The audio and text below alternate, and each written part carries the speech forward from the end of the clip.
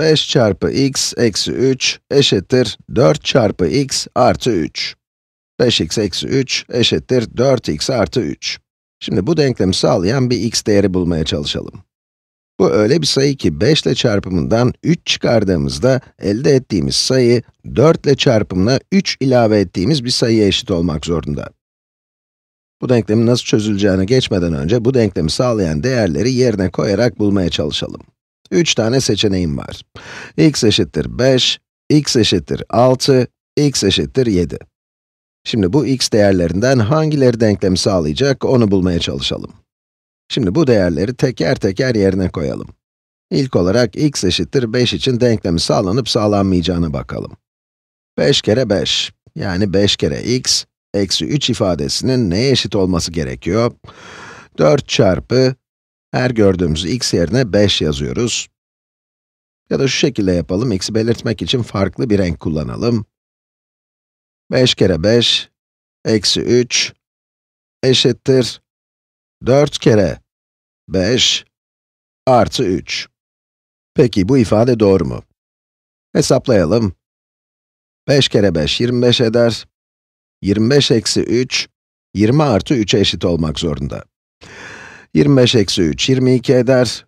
O da 23'e eşit olmalı ama bu doğru değil, yani x 5'e eşit değil. x 5'e eşit olamaz.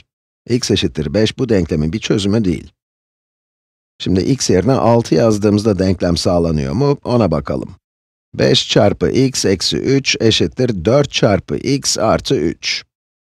Ne yapıyoruz? Bu sefer de x yerine 6 yazıyoruz. 5 çarpı 6 eksi 3 eşittir 4 çarpı 6 artı 3.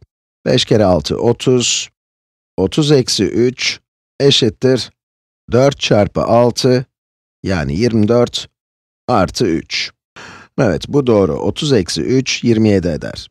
30 eksi 3, 27 eder. O da 24 artı 3'e, yani 27'ye eşittir. Kısacası x yerine 6 koyduğumuzda denklem sağlanmış oldu.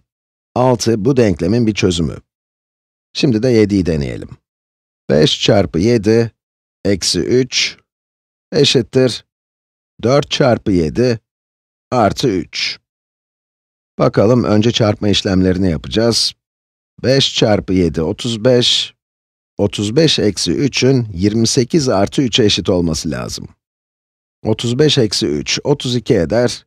28 artı 3 ise 31 eder. Ve bu sayılar birbirine eşit değil. Yani 7 bu denklemin bir çözümü değil. Olamaz.